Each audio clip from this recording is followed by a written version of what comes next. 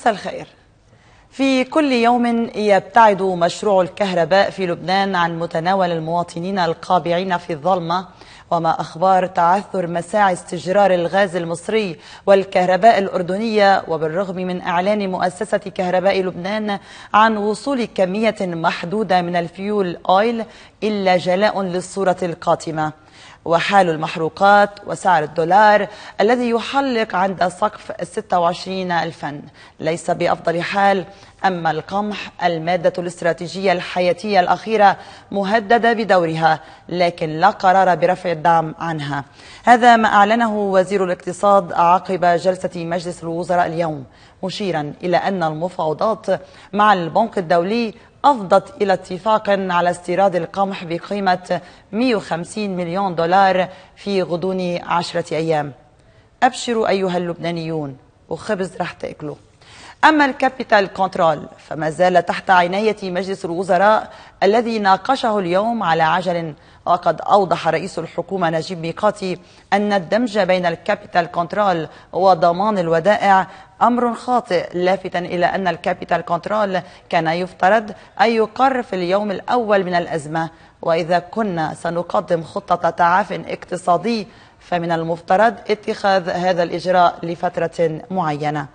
ولأن القانون المشار إليه يندرج ضمن شروط صندوق النقد الدولي فقد لفت تصريح لمديرة الصندوق بأن لا اتفاق نهائيا مع لبنان قبل تنفيذ كامل الشروط التي وضعها الصندوق. لا اتفاق نهائيا مع لبنان قبل تلبية الشروط. تصريح بارز للمديرة العامة لصندوق النقد الدولي كريستالينا جورجييفا حيث أكدت خلاله أن بعثة الصندوق التي أبرمت اتفاقا على مستوى الموظفين مع لبنان. ستتأكد من تنفيذ الجانب اللبناني للشروط قبل رفع الاتفاق إلى مجلس إدارة الصندوق. وفي مؤتمر صحفي على هامش اجتماعات الربيع التي تعقد حاليا في واشنطن بين الصندوق والبنك الدوليين أشارت إلى أن الوضع مروع ومزر في لبنان.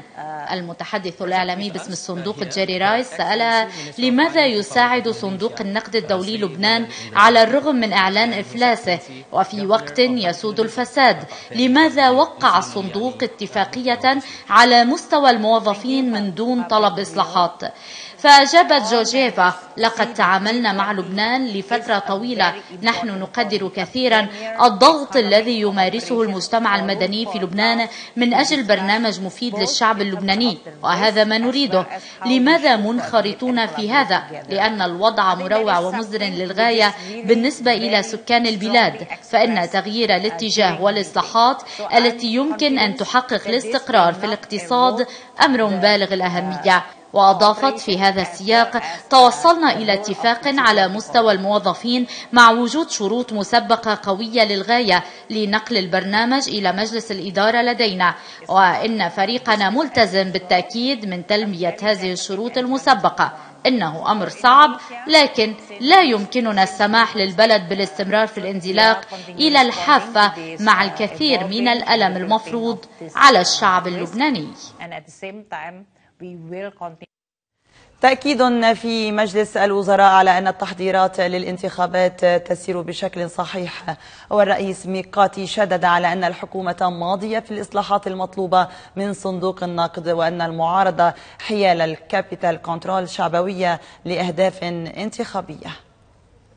حققنا إنجازا بالاتفاق الأولي مع صندوق النقد الدولي. ومن لديه بدائل فليتقدم بها قال رئيس مجلس الوزراء نجيب ميقاتي في مستهل جلسة مجلس الوزراء معتبرا أن الضجة التي أثيرت حيال ال capital control والسرية المصرفية ربطا بأهداف انتخابية شعبوية من شأنها أن تتسبب بمزيد من المشاكل. أما خطة التعافي الاقتصادية فهي لم تقر بل تم عرضها وانتظر المجلس الاستماع إلى ملاحظات الوزراء. والخطة لا تصبح نهائية إلا بعد إحالتها بموجب مشروع قانون إلى مجلس النواب وفق ما نقل وزير الإعلام زياد المكاري عن الرئيس ميقاتي. أما المعارضة التي نسمعها في هذا الملف أهدافها شعبوية قبل الانتخابات ولكنها ستتسبب بالمزيد من المشاكل. وقال من الأمور التي يطلبها صندوق النقد الدولي هي إقرار الموازنة العامة وقد أرسلناها إلى مجلس النواب وإقرار قانون ال capital control وموضوع السرية المصرفية إضافة إلى موضوع إعادة هيكلة المصارف. والملف الأخير لا يزال لدينا وقت لإنجازه ومن ضمن بنوده الموضوع المالي الأساسي. لا يمكن وضع الأمور على سكة التعافي من دون إقرار هذه الملفات الأربعة إلى مجلس النواب بشفافية مطلقة في ملف الانتخابات النيابية تأكيد أن كل التحضيرات تسير بشكل صحيح. سمعنا بعض الملاحظات في ملف انتخاب المغتربين في الخارج. معالي وزير الخارجية الذي يقوم بتحقيقاته في الموضوع تبين له حتى الآن أن ما يجري يراعي القوانين والتعاميم. قد تكون هناك بعض الشوائب العشوائية خاصة في مدينة سيدني الأسترالية ولكن المسؤولية عنها لا تعود للدولة اللبنانية. وزير الاقتصاد أمين سلام أكد أن لا قرار برفع الدعم عن الخبز وأن المفاوضات مع صندوق النقد لتمويل استيراد القمح أنجزت وبانتظار أن يعود الوفد بجواب بعد أسبوع. نحن من شهر ونص تقريبا أو شهرين طلعنا من هالمنبر وانسألنا وقلنا عنا كميات قمح بتكفي لشهر ونص أو شهرين. وقلنا ما في رفع دعم ما في قرار متخذ برفع الدعم. وقلنا كمان إنه العمل جاري لتأمين المواد من دون أي انقطاع. مرق شهر ونص مرق شهرين. كل المعطيات لوزارة الاقتصاد ولجنة الأمن الغذائي صرحت عنا كانت دقيقة. قطع شهر ونص وقطع شهرين ما زال القمح موجود. نحن بنعرف إنه نحن هلأ بأزمة الدواء في لبنان وفقدان بعض الأدوية المهمة وخاصة الأمراض السرطانية والأمراض المستعصية. تفاقمت بالفترة الأخيرة فكان في عرض أثناء الجلسة للأسباب اللي أدت. وحقيقة السبب الرئيسي كان هو الانتقال بتمويل آه، استيراد هذه الأدوية من آه، اللي كان عم يعملوا مصرف لبنان إلى الطريقة الجديدة مع استعمال آه، حقوق السحب الخاصة. نحن حقيقة صار في إعادة تنظيم لهيدي الآلية اللي عرضناها بخلال الجلسة. واللي نحن نتوقع أنه الموافقات اللي عم تعطى آه، حتؤدي بسرعة إلى أنه إن شاء الله يرجع ترجع آه، عجلة الاستيراد لهالأدوية تمشي بطريقة منتظمة. وزيرة التنمية الإدارية نجلة رياشي أكدت أن إقرار مجلس وزراء الاستراتيجية الوطنية للتحول الرقمي هو مدماك أساسي للوصول إلى الدولة الحديثة والعادلة ومكافحة الفساد وتعزيز الشفافية.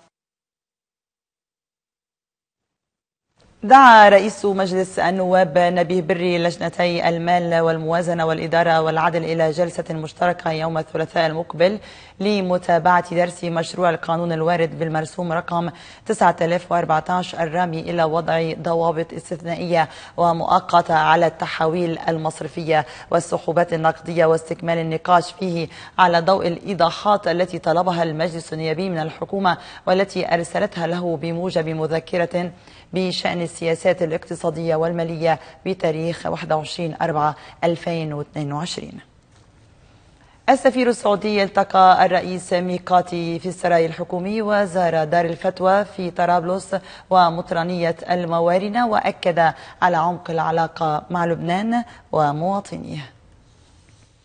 رئيس الحكومة نجيب ميقاتي التقى في السراي الحكومي السفير السعودي وليد البخاري وجرى عرض للعلاقات الثنائية بين لبنان والمملكة.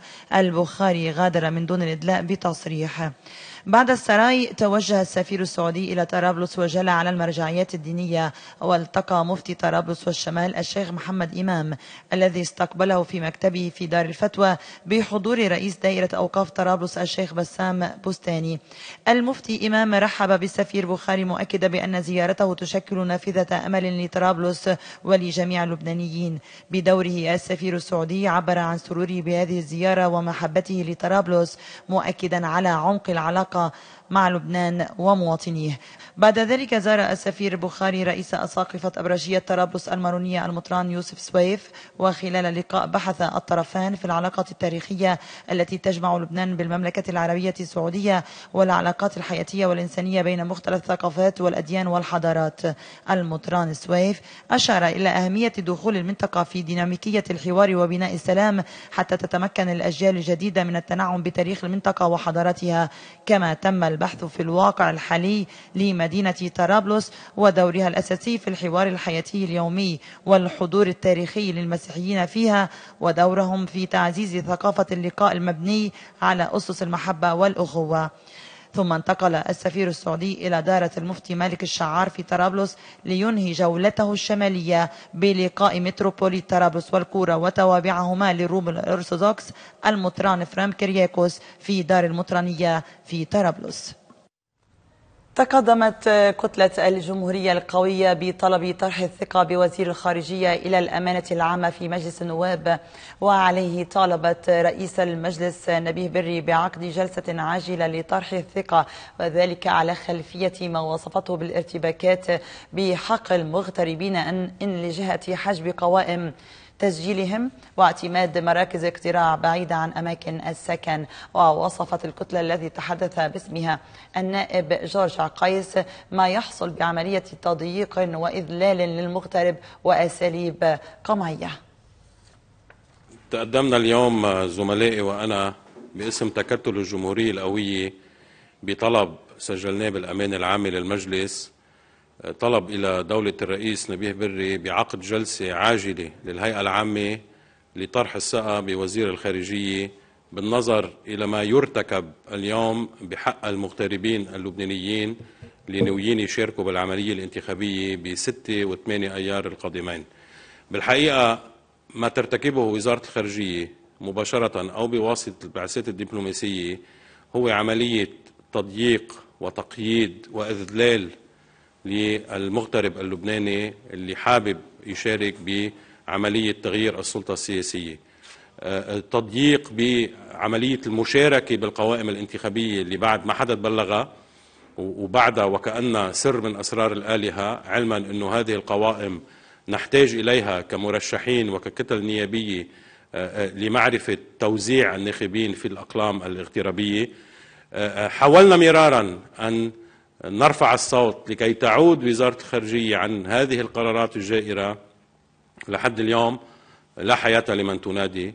نتمنى على الرئيس بري أن يعرض هذا الطلب بأسرع وقت آه، آه، على هيئة مكتب المجلس وأن يبلغوا للطلب من الوزير المعني سندا للمادة 37 من الدستور لكي تنعقد هذه الجلسة اللي نحن طلبناها بأسرع وقت ممكن. وحتى كل الكتل النيابية تتحمل مسؤوليتها وتصوت لمنح أو لحجب الثقة عن وزير الخارجية بالنظر إلى هذه المخالفات اللي عم بتطال كل المغتربين اللبنانيين من كل الأهواء من كل الطوائف ومن كل الاتجاهات السياسية. ذكرت وكالة فرانس بريس أن الشرطة التشيلية أعلنت أنها اعتقلت برتغاليا مطلوبا من الانتربول على خلفية انفجار مرفأ بيروت عام 2020 وأوضحت أن الرجل وصل إلى سانتياغو على متن طائرة آتية من إسبانيا قبل أن تتم إعادته على طائرة أخرى إلى مدريد وفق بيان الشرطة. ولفت المسؤول في شرطة مطار سانتياغو إلى أن الرجل مطلوب بزعم إدخاله مواد متفجرة إلى لبنان مرتبطة بالانفجار. الانفجار وأشار إلى أنه بالتنسيق مع الإنتربول تم منع الرجل من دخول تشيلي ووضعه لاحقا على طائرة متجه متجهة إلى إسبانيا. أصدرت المديرية العامة للنفط التابعة التابعة لوزارة الطاقة والمياه جدولا جديدا لأسعار المحروقات. رفعت بموجبه الصحيح سعر صفيحتي البنزين 98 و 95 أوكتان ألف ليرة لبنانية. كما ارتفع سعر صفيحة المازوت 17 ألف ليرة وسعر قارورة الغاز 11 ألف ليرة. أعلنت مؤسسة كهرباء لبنان أنه مع وصول الناقلة البحرية المحملة بمادة الغاز أويل لترسو قبالة مصب معمل دير عمار فإنه من المترقب أو المرتقب أن تعود التغذية بالتيار الكهربائي تدريجيا إلى ما كانت عليه أي بحدود 450 ميجاوات بدءا من يوم الأحد الواقع في 24 4 2022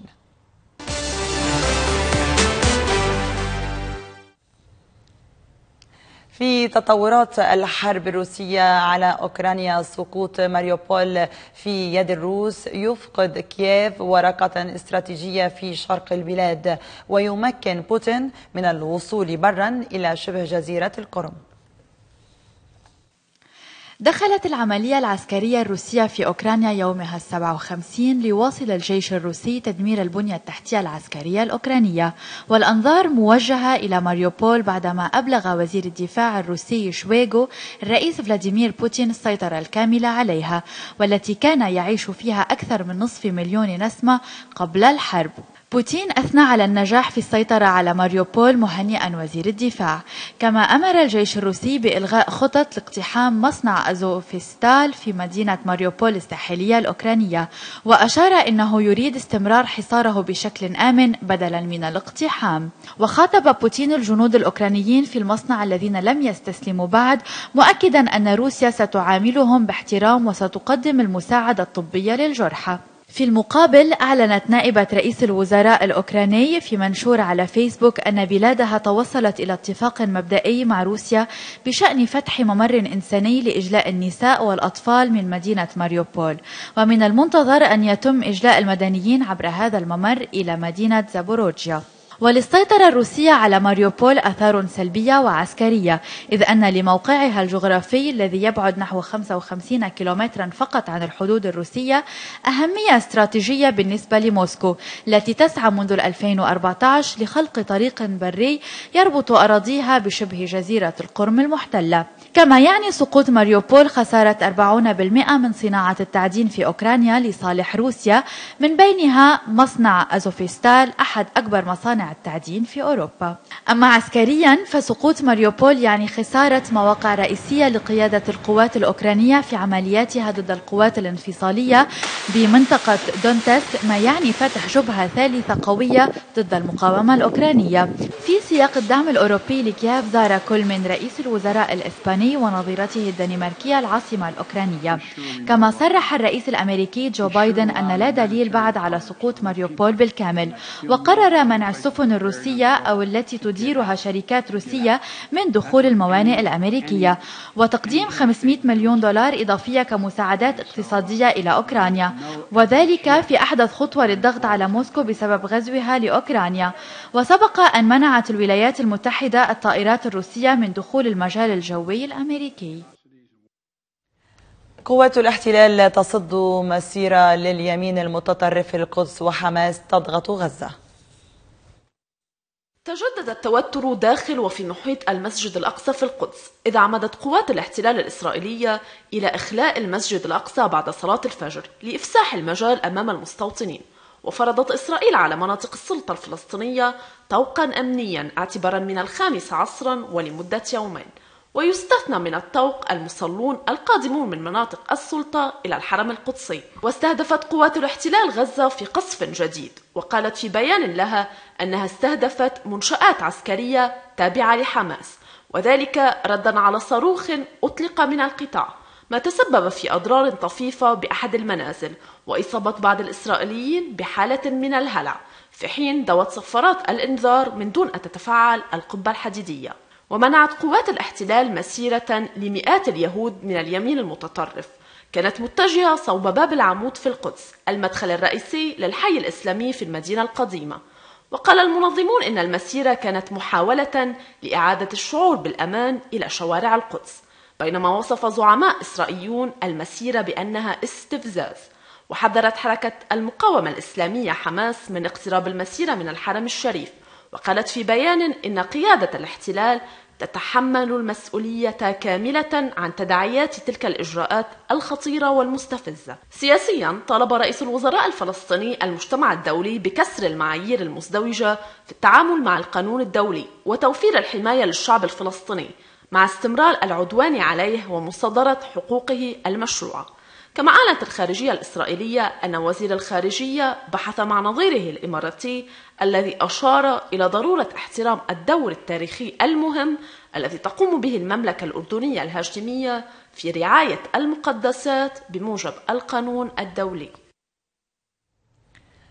في سابقة تاريخية أوروبيا زعماء ثلاث دول أوروبية يدعون يدعون الناخبين الفرنسيين لانتخاب ماكرون في مواجهة لوبان. دعا كل من المستشار الألماني أولاف شولتز ورئيسي الوزراء البرتغالي أنطونيو كوستا والإسباني بيدرو سانشيز في مقالة مشتركة نشرتها صحيفة لوموند اليومية الفرنسية الناخبين الفرنسيين على دعم الرئيس الفرنسي المنتهي ولايته إيمانويل ماكرون في مواجهة المرشح عن اليمين المتطرف مارين لوبان ولفت الزعماء الثلاثة في تدخل غير اعتيادي في شؤون السياسة الداخلية لبلد عضو في الاتحاد الأوروبي إلى أن الجولة الحاسمة من الانتخابات الرئاسية الفرنسية الأحد المقبل ليست بالنسبة إلينا انتخابات كغيرها.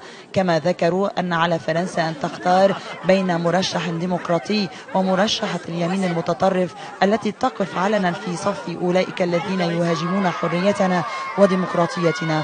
وأعرب الزعماء الثلاثة عن أملهم بأن يحسن الفرنسيون الاختيار في الجولة التي ستجري في الرابع والعشرين من نيسان الجاري لكي تبقى فرنسا منارة للديمقراطية. وكان لافتا موقف لوبان المرشح اليميني المتطرف خلال المناظرة التلفزيونية ليلا مع منافسها الرئيس المنتهي ولايته إيمانويل ماكرون أنها تؤيد أوكرانيا حرة ومستقلة في آن معا عن الولايات المتحدة والاتحاد الأوروبي وروسيا ما دفع بماكرون لاتهامها بالارتهان ماديا لروسيا بسبب قرض حصلت عليه من بنك روسي سابق. فاصل ونعود. أحييكم مجددا. رئيس الجمهورية شدد على أهمية الشباب في عمليات التقارب بين الدول واطلع على أوضاع الجالية اللبنانية في السويد.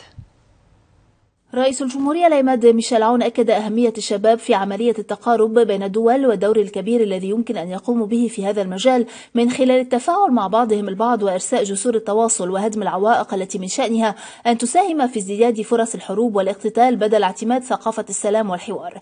الرئيس عون دعا الشباب في خلال لقائه وزير الشباب والرياضة جورج كلاس إلى وجوب التعمق في ثقافة القوانين الناظمة لأن الأمال معقودة عليهم لتسلم المسؤوليات في دولهم. فيما كلاس عرض شؤون شؤون الوزارة وعلاقتها مع القطاعات الشبابية والاستعدادات لإنجاح المؤتمر الكشفي العربي العام الذي سيعقد في لبنان في أيلول المقبل. رئيس الجمهورية تناول مع النائب في البرلمان السويدي اللبناني الأصل رجي حداد العلاقات بين البلدين وسبل تعزيزها وأوضاع الجالية اللبنانية في السويد وتواصلها مع الوطن الأم. وفي القصر الجمهوري وبحضور النائب إيدي معلوف تسلم رئيس الجمهورية من رجاء لبكي وإبراهيم شويري مستندات وأرشفة حول ما كتبته المجلات والصحف الفرنسية عنه. خلال العامين 1988 حتى 1990 في عين التين رئيس مجلس النواب نبيه بري التقى المدير العام لأمن الدولة اللواء طوني صليبة في حضور نائب اللواء صليبة العميد حسن شقير وفي عين التين المجلس التنفيذي الجديد للرابطة المارونية الذي صرح بعد اللقاء أن الرئيس بري أكد لهم أن لبنان ليس بمفلس ويعتمد على الثروة البشرية المتمثلة بأبنائه الذين أغنوا دول العالم. دولة الرئيس لا يعتبر أن لبنان مفلس إنما لبنان يتطلب آراء جديدة ونيرة من كل هؤلاء آه، الذين أنقذوا العالم. وهو يقول أن هناك 13 دولة يحكمها اقتصاديا لبنانيون. اذا ليس عندنا أي سبب كي لا نستفيد من تلك الخبرات لإنقاذ البلد وتصويب المسار. رئيس كتلة الوفاء للمقاومة النائب محمد رعاد اعتبر أن ما أنجزته المقاومة في لبنان لم تنجزه أي مقاومة على مر التاريخ. حق لنا أن نعبر بكل حرارة وبكل تفاعل عن أن ما أنجزناه في هذا البلد لم تنجزه مقاومة على مر التاريخ. نشأ أطفالنا على حب المقاومة. وعلى الالتزام بنهج المقاومة. تآلفت عائلاتنا مع مناخ المقاومة. أوجدنا رأيا عاما وطنيا في لبنان. لا يستطيع أن يتنكر للمقاومة. وحدهم الأبالس والجاحدون الذين يريدون أن يتملقوا لأسيادهم. رعاة الاحتلال الإسرائيلي. ولا يجدون سبيلا لتملقهم لأسيادهم. إلا بقذف المقاومة وتشويه سمعتها والنيل منها وافتعال مشكلة سياسية في البلد على قاعدة وهم أن سلاح المقاومة هو سبب عدم استقرار البلد. أكد سفير قطر في لبنان إبراهيم السهلاوي خلال زيارته مفتي الجمهورية اللبنانية الشيخ عبد اللطيف دريان حرص بلده على لبنان وشعبه والتعاون مع دار الفتوى لدورها الإسلامي والوطني. من جهته نوه المفتي دريان بدعم ومساعدة قطر أميرا وحكومة وشعبا للبنانيين وبخاصة التعاون المثمر مع وزارة الأوقاف والشؤون الإسلامية بدولة قطر التي تدعم رواتب موظفي الأوقاف في بيروت والمناطق اللبنانية. بمناسبة اليوم الوطني للتلامذة ذوي الصعوبات التعلمية لقاء في المركز الكاثوليكي للإعلام ودعوات لاحترام حق الدمج في المدارس دون تمييز لأن الغاية هي الإنسان. في نظام واحد هو نظام التربوي إذا انضرب معناتها راح راح لبنان. تأسس اليوم الوطني للتلامذة ذوي الصعوبات التعلمية. هيدي السنة العاشرة يلي بنحتفل فيها. ومرق علينا حالات صعبة كتير. لكن أصعب شيء مرق علينا آخر هالثلاث سنين بالوضع اللي نحن فيه. لكن غدا هو اليوم المميز الذي صار مع مناسبة تتشارك فيه المؤسسات التربوية والجمعيات الغير حكومية ووزارة التربية ووزارة الشؤون الاجتماعية ووزارة الصحة تتشارك بالاحتفال هذا. أوضح المكتب الإعلامي في دار الفتوى أن الحريق الذي شب ليلة أمس في سطح المبنى الملاصق لدار الفتوى أصاب أحد المداخل الخاصة المطلة على المركز الصحي العام التابع للدار وتم إخماده وتم إخماده. وأشار في بيان إلى أن الحريق نتج عن احتكاك كهربائي أشعل حديقة الدار الخلفية لذلك توقفت إذاعة القرآن الكريم الموجودة في الدار عن البث مؤقتا. وأتوجه المفتي دريان ودار الفتوى بالشكر إلى كل من ساهم بإطفاء الحريق الهائل. وفي طليعتهم فوج إطفاء بيروت والدفاع المدني وأهالي منطقة عائشة بكار. بمناسبة نيل لبنان عضوية الاتفاقية الجزئية الموسعة للطرق الثقافية افتتحت أعمال المنتدى الأورومتوسطي للحوار بين الثقافات في مقر الجامعة اللبنانية الأمريكية في جبيل برعاية رئيس الجمهورية ممثلا بوزير السياحة وليد نصار وحضور وزير الثقافة محمد مرتضى. نصار أشار إلى أن لبنان اليوم عاد على الخارطة السياحية العالمية واعدا بنشاطات سياحية عديدة على المدى الطويل. اليوم استقبلنا دكتور ستيفانو دومينيوني اللي هو الرئيس التنفيذي لمجلس أوروبا للمسارات الثقافية والسياحية. وعندنا طبعا المؤتمر خميس جمعة سبت. اليوم ابتدينا بزيارتنا للمتحف الوطني برفقة وزير الثقافة اللي هو شريكنا الأساسي وزارة الثقافة وزاره السياحة بانتساب لبنان لمجلس أوروبا. لبنان البلد رقم 35 أول بلد غير أوروبي اللي هو عضو بمجلس أوروبا. قديش بهمني؟ وزارة الثقافة تحديدا معنية جدا بهذا المشروع. مشروع درب ثقافي سياحي آه، لبناني فينيقي. له بعد هيك بالتاريخ وله بعد بالجذور بالتالي له بعد وارتباط بالثقافة. وبضوي على إمكانية سياحية غير عادية قادر لبنان أنه يستفيد منها بهذا المجال. وختاما جرى مساء اليوم سحب اليانصيب الوطني اللبناني وقد ربحت الجائزة الكبرى 220 مليون ليرة. الورقة التي تحمل الرقم 65564 ومبروك للرابحين. مشاهدينا إلى هنا نصل إلى ختام نشرتنا. شكرا لحسن المتابعة وإلى اللقاء.